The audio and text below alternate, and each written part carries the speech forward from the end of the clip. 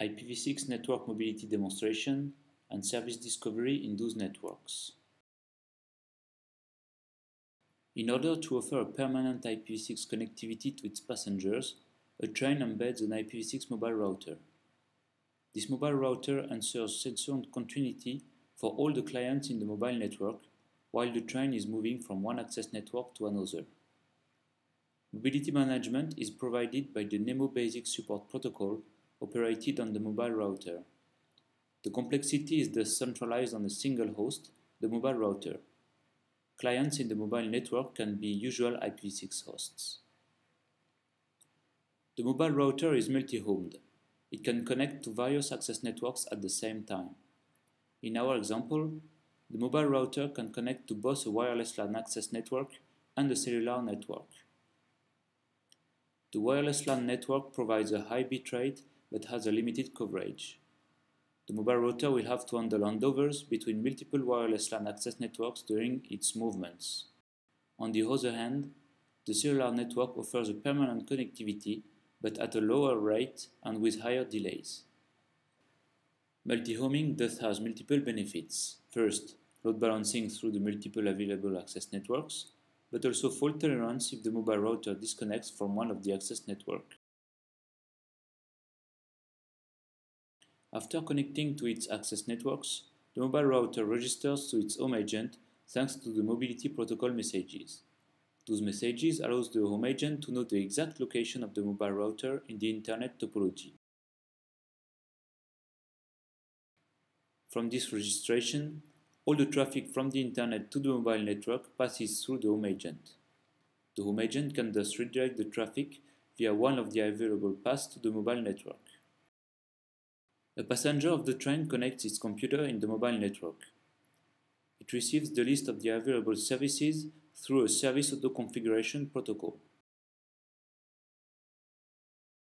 For this purpose, the mobile router regularly broadcasts the available services to the users in the mobile network, for example, video on demand, online radio, voice over IP service, and so on. The services are not necessarily located in the mobile network, the mobile router thus acts as a proxy to announce them in the network. The passenger can access those services with a specific service browser or with its usual applications that support the service auto-configuration protocol. Once the passenger decided the service he would like to access, the application contacts the service gateway with the request of the user. In the case of a video flow, all the data are conveyed from the service gateway to the home agent. The home agent can then select, according to its routing policies or preferences, the path to transmit the data to the mobile network.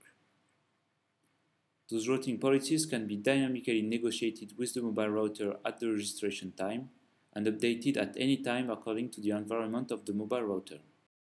Once the path has been selected, the data can be transmitted to the mobile network. The mobile network is moving. It reaches the border of the wireless LAN access coverage. Data are still transmitted through the same path. The mobile router then loses its access to the wireless LAN network and immediately contacts its home agent which updates its list of available paths to the mobile network. When the home agent receives data that are destined to the mobile network, it selects the alternate available path through the cellular network.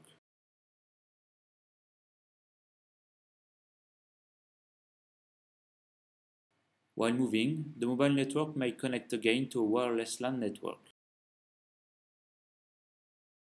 In that case, it updates its home agent which can again transmit the data through this new path. In parallel, all the data sent from the clients in the mobile network to the internet is routed by the mobile router to one of the available access networks according to their availability. Thanks to multi-homing, clients in the mobile network can benefit from a permanent internet access as long as at least one path is available between the mobile router and its home agent. In our example, the cellular access network suffers from a low bit rate. The mobile router thus might only allow important traffic to be sent through this access network. Another possibility would be to use adaptive applications that can adapt the bit rate of the data they send according to the connectivity conditions of the mobile router. We have implemented all of the presented protocols in the test platform. In this platform, the mobile network is composed of a multi-home mobile router and a client. The mobile router is connected to the access networks with cables in order to clearly show the connection and disconnection to the access network.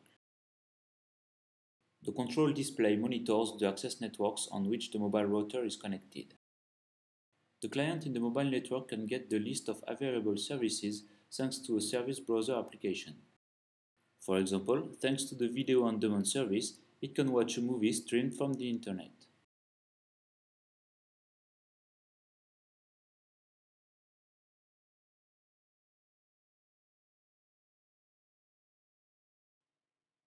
The data are transmitted through the path selected by the home agent. We will now disconnect the mobile router from the access network that is currently used to transmit the data.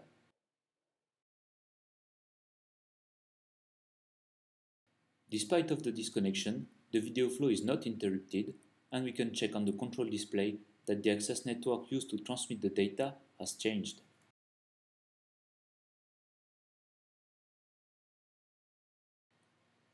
The home agent redirects all the data destined to the mobile network through another available path. We reconnect the mobile router to its access network and notice that all the data are transmitted again through this very network.